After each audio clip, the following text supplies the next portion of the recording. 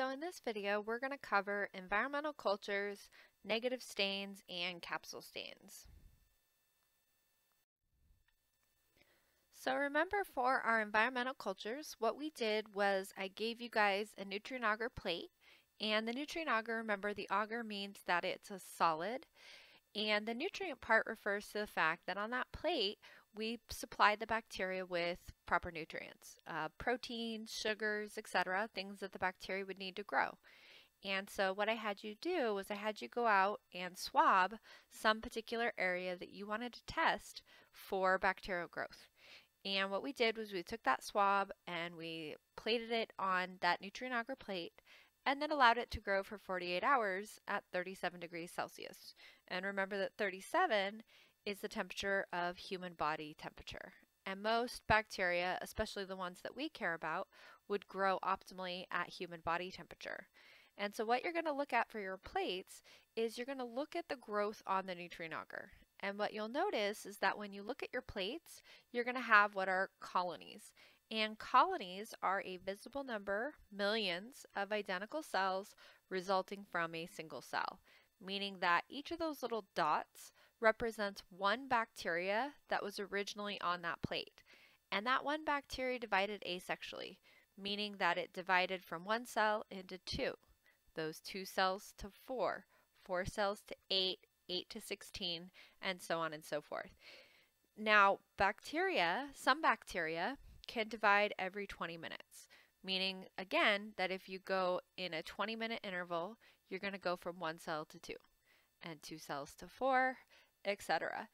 And in order to get a million bacteria, bacteria only need to grow for about six to seven hours.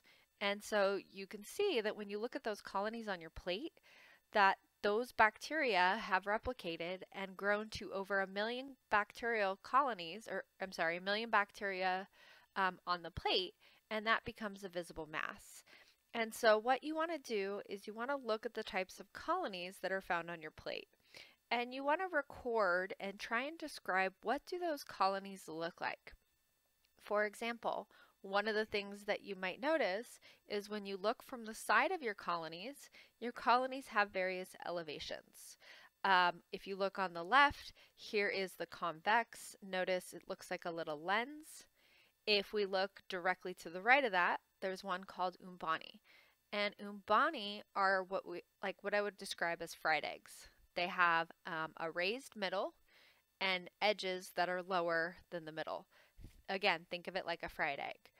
Bacteria, for example, in the genus Bacillus. Bacillus anthracis, which is the bacteria that causes anthrax, grows as an Umbani type culture. And so you want to see, do you see these Umbani cultures um, on your plate?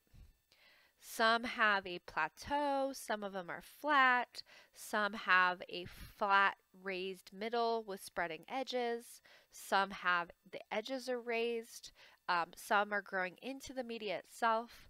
And so you just want to become familiar with looking at the types of colonies on the plate and then describe the elevation. You also want to look at the margins. So what do the edge of the colonies look like? Um, some colonies are going to be smooth and entire, meaning that the edge of those colonies are completely smooth. Some are what we call rhizoid. Uh, they look like little filaments or little fungi growing out from the culture. Um, some are irregular shaped, some are lobate, they have these lobes in them. Uh, some are filamentous, and so different types of bacteria have different margins for their colonies as well. And then if you look at the whole colony, you also would want to look at what do what does the whole colony look like. Again, is it round?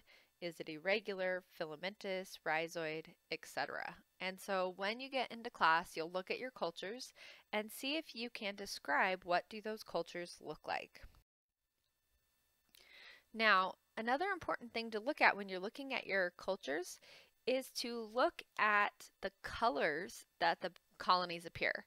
And those colors are due to the fact that some bacteria produce pigments. And these various pigments make the bacteria grow a particular color.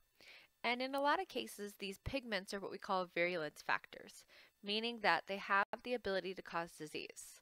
Staph aureus, for example, which is a type of bacteria found in skin, produces a yellow pigment. And typically, the more pigment that's produced, the more virulent or disease causing the bacteria is. And so notice that when you look at a mixed soil sample, look at all the diversity in the types of colonies. You see different colors, different sizes, different elevation, and these cultures are very diverse because multiple types of bacteria are found. And so you want to look at the types of colonies that are found on the plate too. If for some of the places that you swabbed, if you see a lot of tiny white or kind of clear colonies, uh, those typically might be bacteria found on skin. So for example, if you looked at, let's say, the surface of your cell phone, you might see little tiny white colonies on your plate, and that doesn't mean that your phone is completely contaminated. It could just be simply bacteria that are normally found on your skin.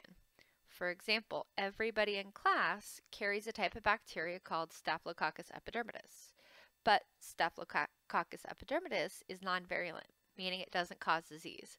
And so if you see primarily small little white clear colonies, uh, don't panic. Those are likely just bacteria found on your skin. If we look over here on the bottom left, you can see that different types of bacteria produce different pigments. Um, again, Staph aureus would have a yellow pigment. If we look at uh, bacteria that can produce a reddish pink pigment, we have Serratia marcescens. And Serratia marcescens is an opportunistic pathogen. And what that means is that if your immune system is fine, typically Serratia won't cause any problems. It's only when a person becomes immunocompromised that Serratia can be an issue. Um, if you've ever seen in your bathroom like a pink slime growing in your tub or in your shower, that's likely Serratia marcescens growing in there. And what you'll notice is if you've ever had this bacteria in your bathroom, it's extremely difficult to get rid of. And one of the reasons, and you're going to see this in the video in a little bit later, one of the reasons is that uh, Serratia marcescens can produce a capsule, produces a slime. And this makes it very sticky. It allows it to adhere to surfaces, which makes it a lot more difficult to get rid of. And so if you see pink slime in places, especially with water, you're likely looking at Serratia marcescens. If you look at this one over here that has kind of this light blue turquoise color, um, an example of that would be like Pseudomonas aeruginosa. Pseudomonas aeruginosa is a type of bacteria that is a common cause of death in burn victims. And one of the hallmarks of Pseudomonas is that it produces a blue pigment and that blue pigment can make the pus appear blue. And so if you look in the wound of a patient who has this type of infection, sometimes the wound has this kind of bluish green hue to it because of the bacteria producing that pigment. In the middle, what you're seeing are these Umbani cultures. And these Umbani colonies, again, have a fried egg appearance. The middle is raised relative to the edge, and so again, this is an example in the middle of Bacillus anthracis. On the far right, if we look at Klebsiella pneumoniae, notice that the colonies have a raised appearance and they're very mucoid, meaning they look kind of mucousy and slimy. And again, it's due to the fact that Klebsiella pneumoniae produces a capsule, and that capsule is what gives it that mucousy um, appearance. So, a couple questions for you to get you thinking about your plates. Uh, first things first is why do we incubate plates upside down? Meaning, why do we incubate our plates agar side up? And the answer is that water is a byproduct of respiration.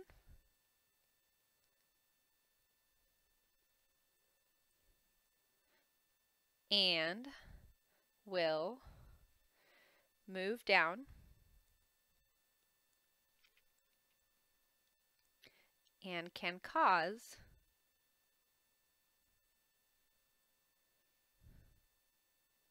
the bacteria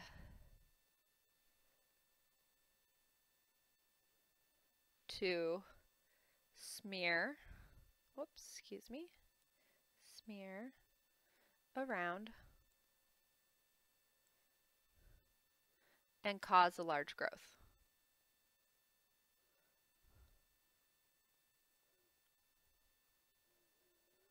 So let me explain what it is that I mean by this.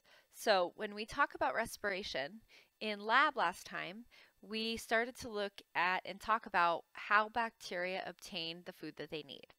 And one of the reasons that bacteria, as well as yourself, need food is that food acts as a starting product for what we call cellular respiration.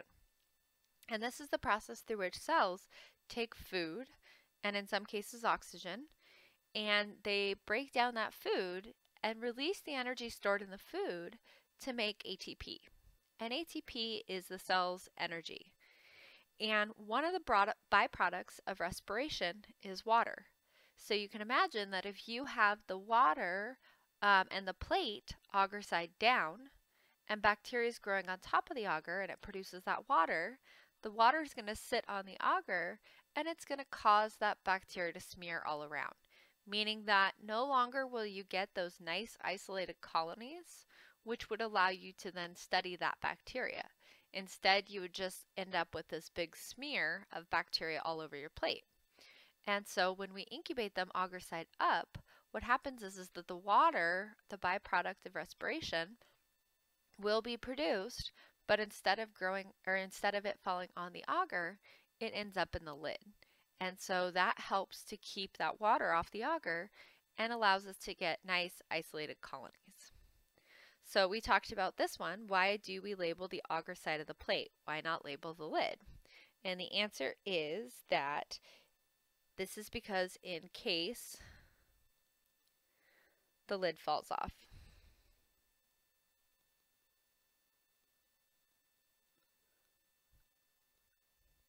Meaning, let's say you were carrying five plates over to the incubator and you happen to drop them. And let's say when you dropped them, the lid and the plate separated from one another.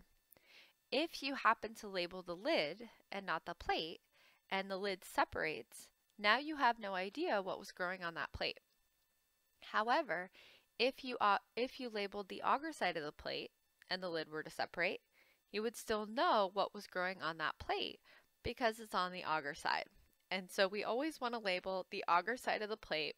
And again, we don't label all across your plate. You want to be able to see the types of colonies. And so we label along the edge of the plates.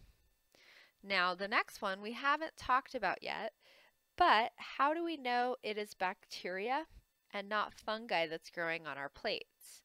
And the answer is, is that fungi take longer to grow.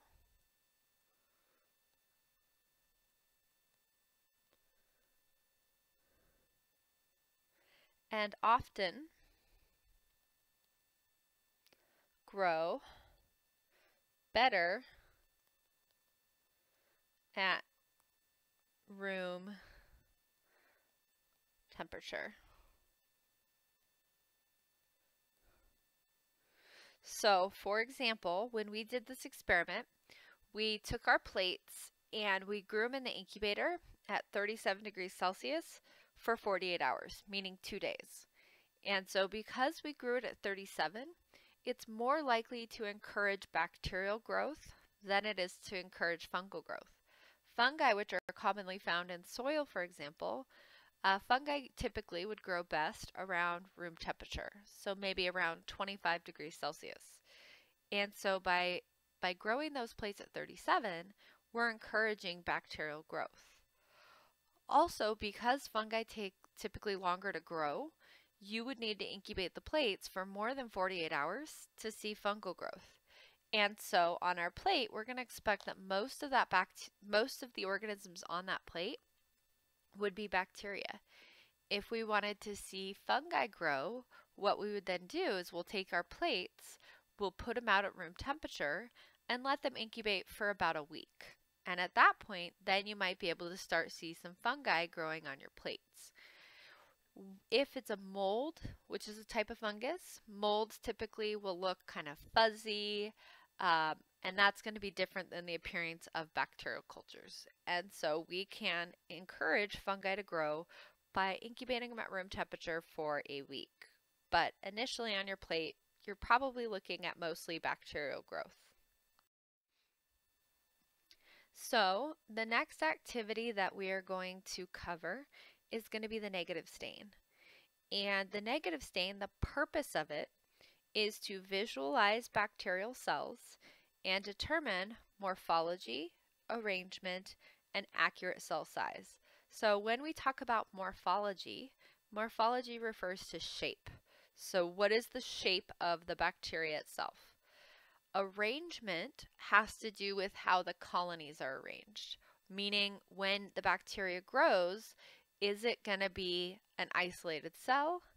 Is it going to grow as pairs? Is it going to grow in a chain? Is it going to grow as a cluster? And we'll talk about different types of arrangements in a minute. Now, you guys did your gram stain, and one of the things that we did in our gram stain was that we did remember a heat fix step, meaning that you guys put your bacteria on your slide, you allowed that slide to air dry, and then once it was dry, you did a heat fix by passing the slide through the flame three times. And remember that the heat fix step in the gram stain or in any other simple stain, the purpose of that is that the heat fix is going to um, cause proteins to denature, meaning it causes them to unfold, and it also causes those proteins to coagulate, meaning stick together. As a result of this, the bacteria will then adhere to the slide, and it will cause the bacteria to be killed. Why don't we use a heat fix step in a negative stain? And that's because the heat can cause fragile cells to shrink. Um, or And so, for example, if we wanted to determine accurate cell size, if we heat them, those cells are going to shrink and it won't let us um, have an accurate measure of cell size. Additionally, Fragile cell types like spirochetes or spirals um, are very sensitive and fragile. And if you cause the if you do a heat fix step, it can cause those fragile cells to become damaged. And it would no longer allow you to visually see the appropriate type of morphology.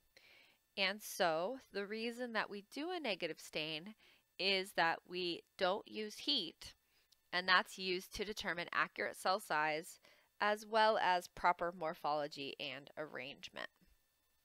And so I have a question for you, and that is why in this example is the background stained in a negative stain?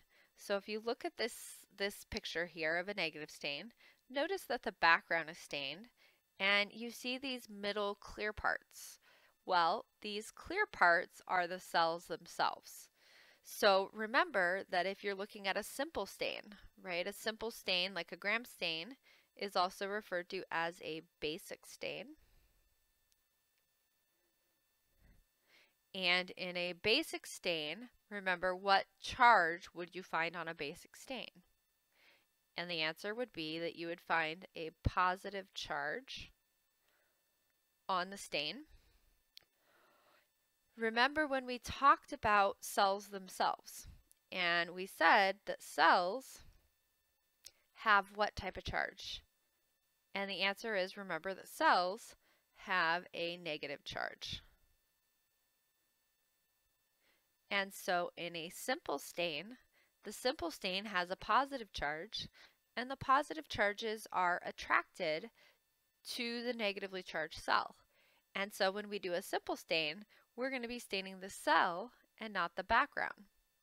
So now thinking about that, what do you think the negative stain has that causes it to stain the background and not the cell? And so first things first, let's start with if the stain is acidic or basic. So if we just said that a basic stain carries a positive charge, what type of stain do you think a negative stain would be? And the answer would be that it is an acidic stain. Meaning that it donates hydrogen ions into the solution. And as a result, the stain is negatively charged.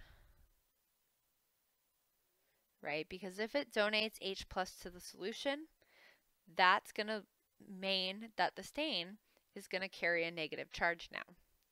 Now, if our stain is negatively charged, how will that stain interact with the cell? Do like charges repel or do they attract? And the answer is that like charges repel one another. So um, stain is repelled by the cell.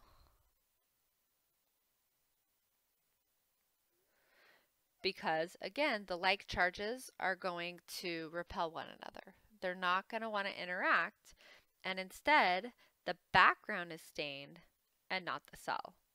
And so some examples of a negative stain that we're going to use would be like Congo red. So Congo red we're going to use both in our negative stain and also in our capsule stain, which we'll talk about in a minute.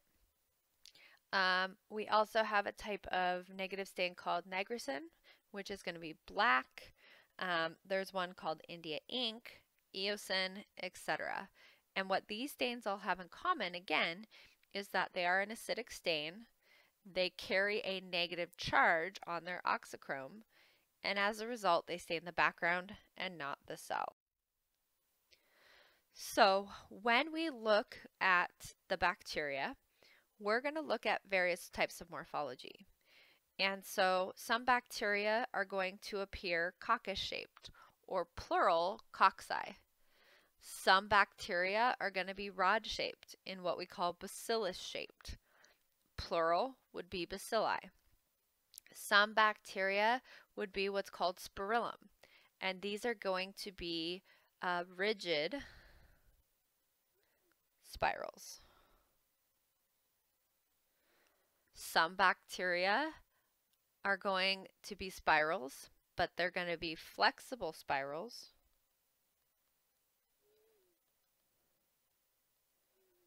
and this shape is called spirochete.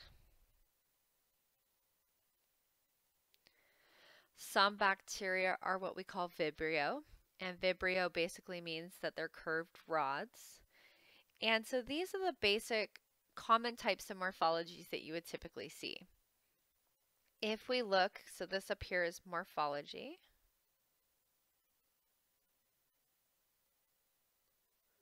So again, the shape of the bacteria. Down here, we have the arrangement. And that is, how do the bacteria grow um, together or separate? So some bacteria are strepto. Strepto means chains. So you could get streptococcus, for example. So looking here, this is streptococcus. They're chains of coccus-shaped bacteria. So that's streptococcus. You could have streptobacillus, meaning that they're rods growing in a chain. Sometimes you'll see bacteria being staphylo, and staphylo refers to the fact that these grow as grape-like clusters. Whoops. No G again. Grape-like clusters. And so instead of being in chains, they grow as these little clusters. So for example, you could have staphylococcus, meaning that you have lots of these grape-like or um, lots of these round bacteria growing in clusters. The one you don't typically see, you're not going to see, is going to be Staphylobacillus. So no Staphylobacillus.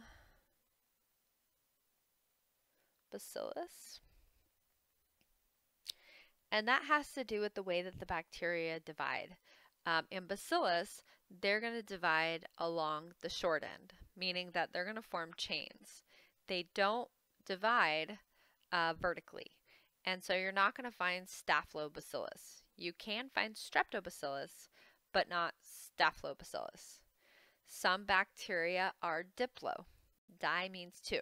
So what we're looking at here is Diplococcus, two uh, round-shaped bacteria growing together. You could see Diplobacillus, for example. And so you want to start becoming familiar with both morphology and arrangement. So what's an example of a medically important bacteria that can be seen with a negative stain? And so typically remember that the reason we do a negative stain is to visualize cells that could be fragile due to a heat fix step. And a type of bacteria that you'll typically see with this would be your spirochetes. And spirochetes, like what you're seeing here, spirochetes are um, are going to be spirals, but again, they are flexible spirals. They're not a perfectly tight spiral. Notice you can see it almost has kind of a wavy appearance. Um, that's a spirochete. And if you do a spirochete using a simple stain, the heat, the heat fix step might affect the shape or the morphology. And so instead, it's best to visualize a spirochete using a negative stain because the negative stain lacks that heat fix step. So an example of treponema, or an example of a bacteria seen with a negative stain would be Treponema pallidum. Treponema pallidum is the organism um, that causes the sexually transmitted infection or STI that causes syphilis. And so, how do you get syphilis? Again, it's through it's a sexually transmitted disease. So, through some sort of sexual contact.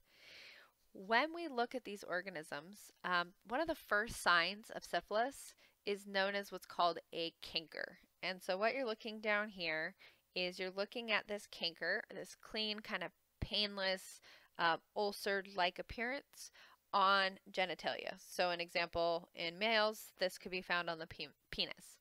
It could be found on multiple sites. It could be on the vagina. It could be orally. But basically, one of the first signs of syphilis is going to be this canker.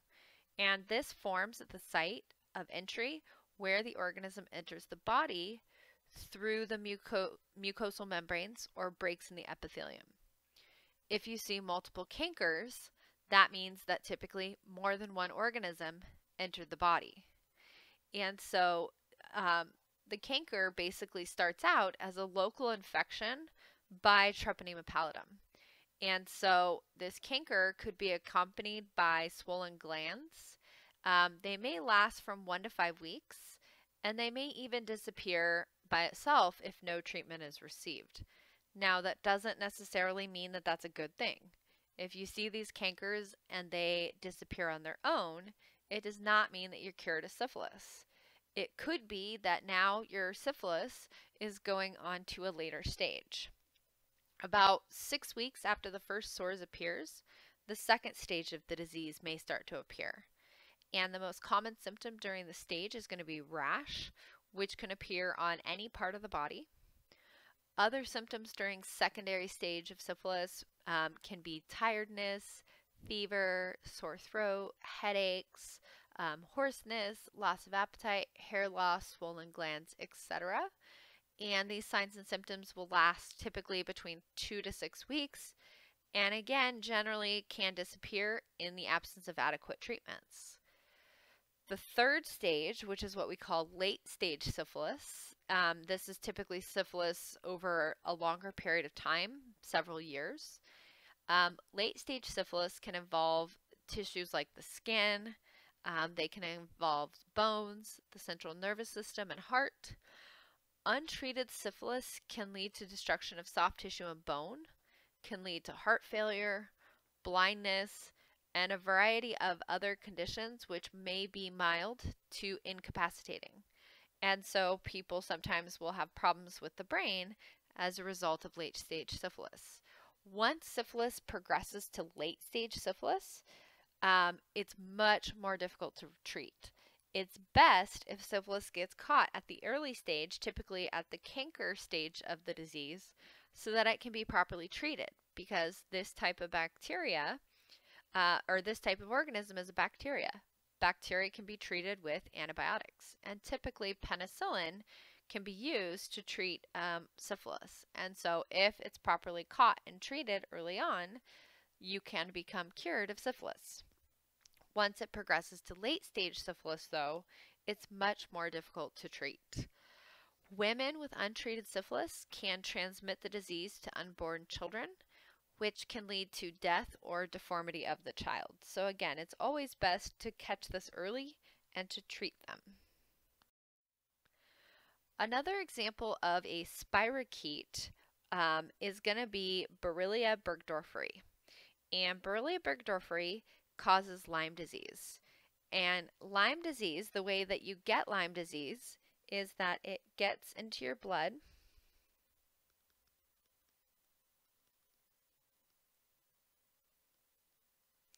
through a tick bite.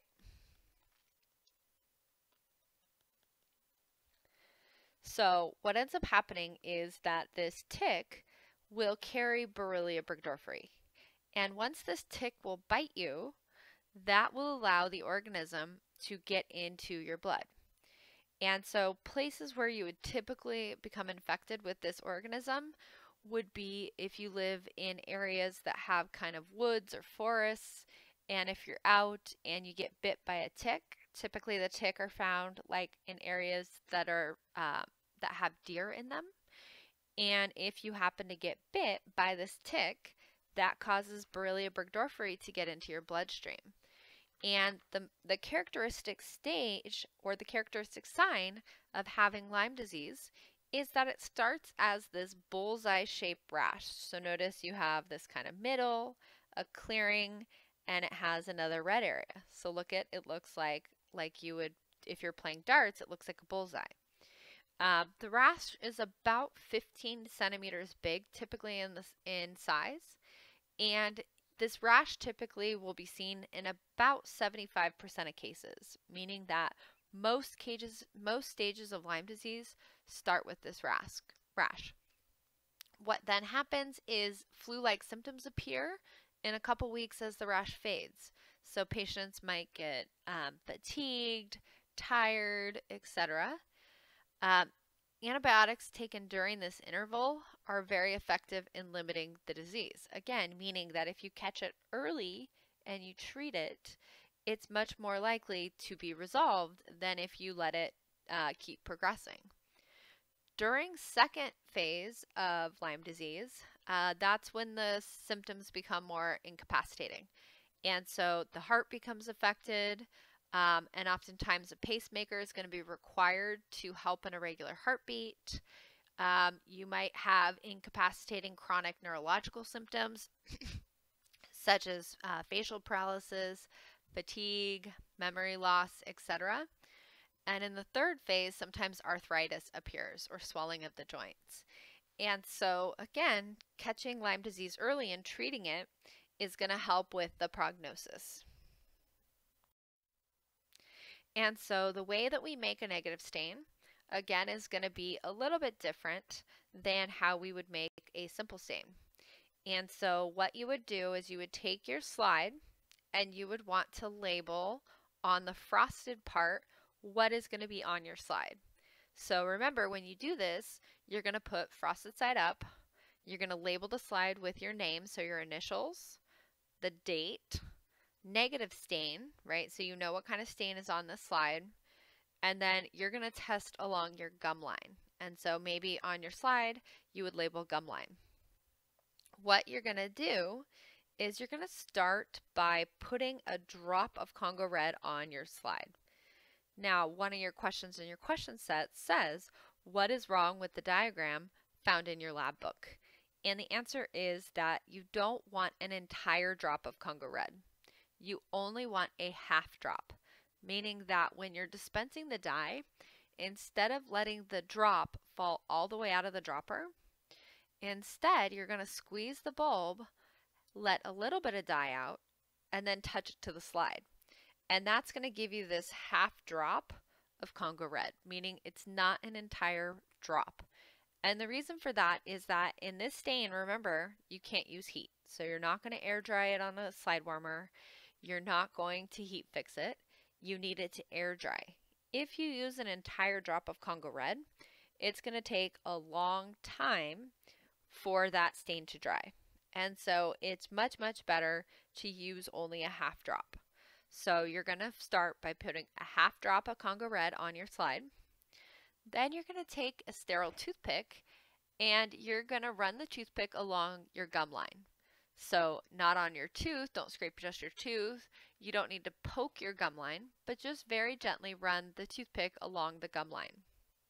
Then you're going to take that toothpick where you swabbed your gum line and you're going to stir it into that drop of Congo Red. Now they used a loop, but because we are using um, a toothpick, you're going to do this using a toothpick.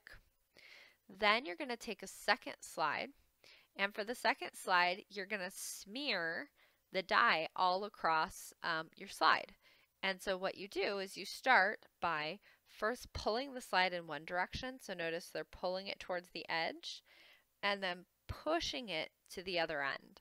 And so what you want to do is essentially smear that Congo red all across the slide. And once you're done with that slide that you used to smear the bacteria, um, take that slide and put it directly in the container that has the disinfectant.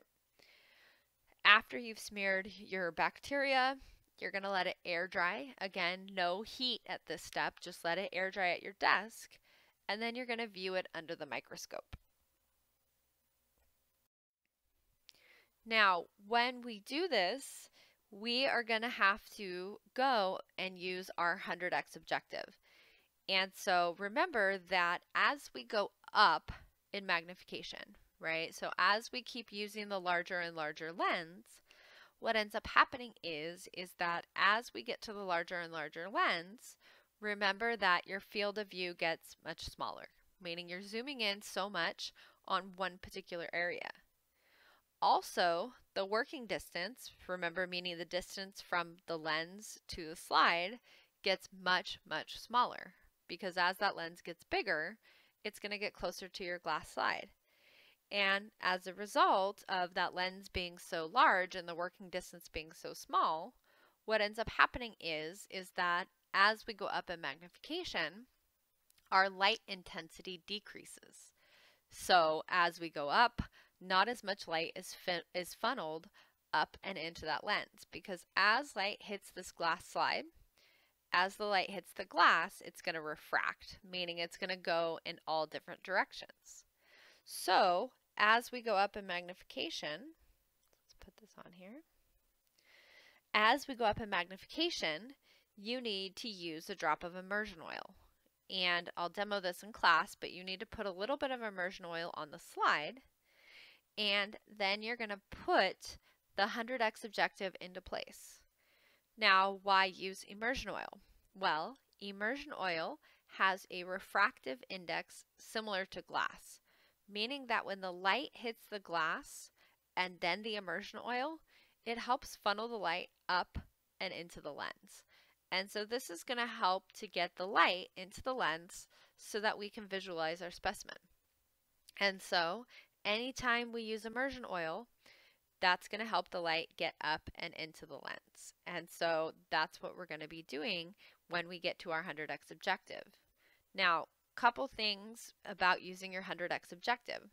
First and foremost, don't use your coarse focus. Remember, the coarse focus, or the larger one closer to the base, is going to adjust the stage up and down quickly. That working distance between the lens and the slide is so small. If you adjust using the coarse focus, you risk snapping the slide, or worse, snapping the lens. And so you do not want to adjust using the coarse focus. You shouldn't need to. Your microscopes are parfocal. They should stay roughly in focus as you go up in magnification. Additionally, once there's oil on your slide, never ever ever go back to your 40x objective. Going back to your 40x objective and getting oil in that lens will damage the lens. That that lens, remember we call a high dry lens, meaning it's not supposed to have oil in it. One of the most common things that you'll see throughout the semester is that when you're using your microscope, you're not able to focus on your 40x objective. And that's due to the fact that probably at some point a student got oil up in the 40x objective. And so if that's the case, if you can't focus using your 40x, take a little bit of the lens cleaner on the lens paper and clean that lens really, really good because that's going to affect how you can focus.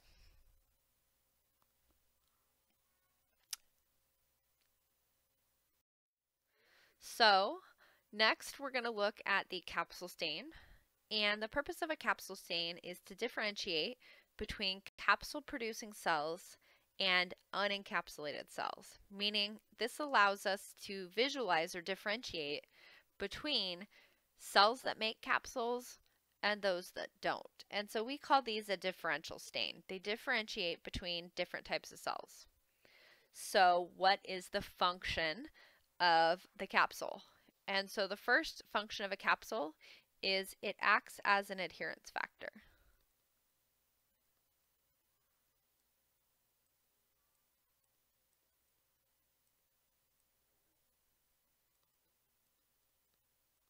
meaning that it makes the cells sticky and allows them to adhere to surfaces.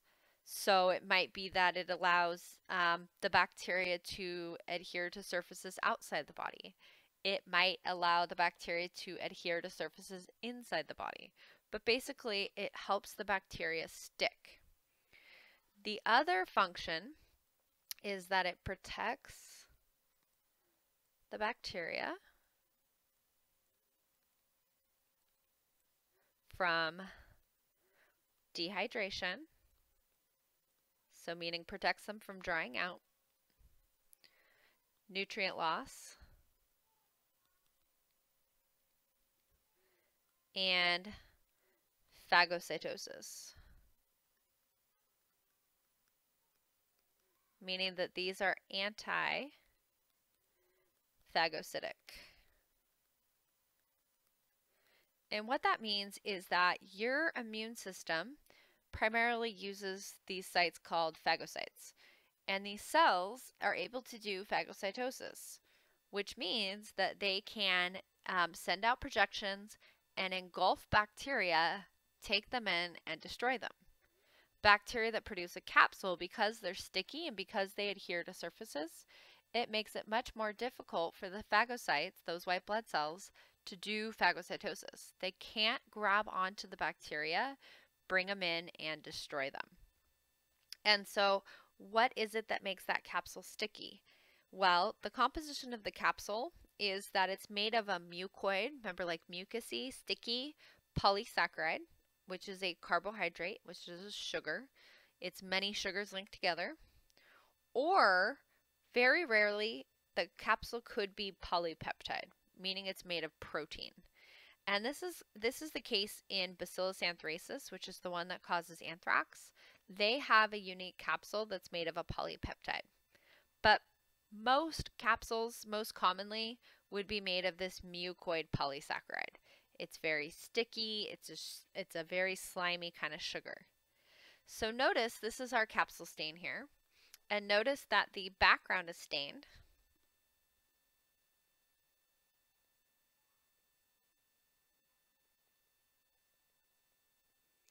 And you also notice this part in the middle that's stained. That's the cell. So the cell is stained.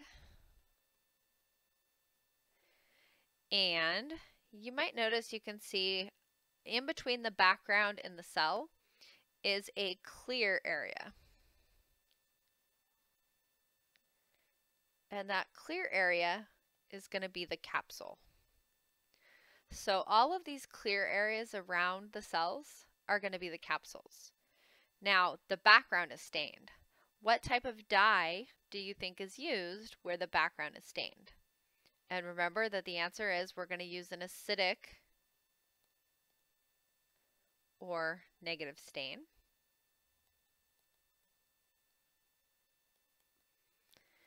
And specifically in this case, we're going to use Congo Red. For the cell being stained, what type of stain would stain the cell? And the answer is a basic stain. And in this case, we're going to use safranin. And that's going to stain the cells pink, pinkish red. So in a capsule stain, the background is stained because of the negative stain, the, the Congo red. The cell is stained because of the safranin, and it's those clear areas that are the capsule. And so the capsule is a structure that is external to the cell, meaning it's on the outside. So how do you uh, prepare a capsule stain? So you're going to work in pairs, and one person is going to be responsible for making a negative stain with Klebsiella pneumoniae. The other person is going to make a negative stain with Bacillus megaterium. So as a pair, you're going to have both organisms. So again, remember the method to make a negative stain. Put a half drop of Congo red onto the slide. Then take bacteria using aseptic technique and put the bacteria on the slide with a loop. Now, typically, like in our gram stain, remember I told you to use a needle to transfer the bacteria onto the slide because you don't want to pick up too much. However, in this capsule stain, remember that the bacteria is going to be very sticky and it's going to be harder to transfer the bacteria from the, the loop or the needle onto the slide. So we're going to use a loop to pick up a little bit more to ensure that we can transfer the bacteria onto the slide. So use a loop, an aseptic technique, meaning don't forget to flame sterilize your loop, let it cool before you pick up the bacteria.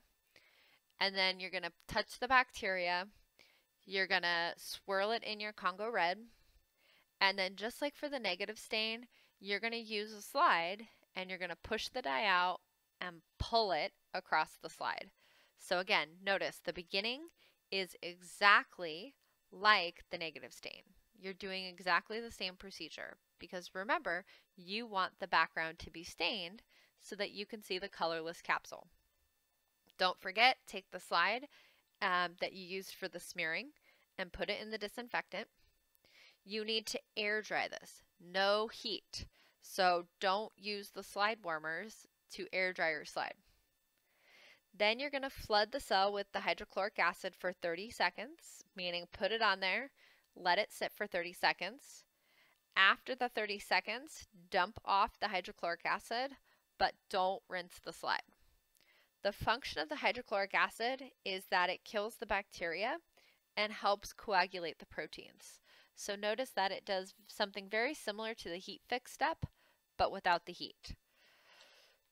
After you kill the bacteria and adhere them to the slide, then you're going to add the safranin, put it on the slide, let it sit for one minute. After the one minute, dump off the safranin and rinse gently with the water, meaning you're going to squirt above where the bacteria is, let it run down the slide just to rinse off any excess safranin. And then you're going to let it air dry and then you're going to put it on your microscope and view it on the microscope. And the background should be stained with the Congo red. The cells should be stained with the safranin. And the capsule is going to be the colorless part. And so the next slide is just basically visualizing how you would do this. Now we don't use um, this jar like they do here, uh, but for the most part, this um, procedure is very similar to what we're doing. And when we actually do this, I will demonstrate this in class.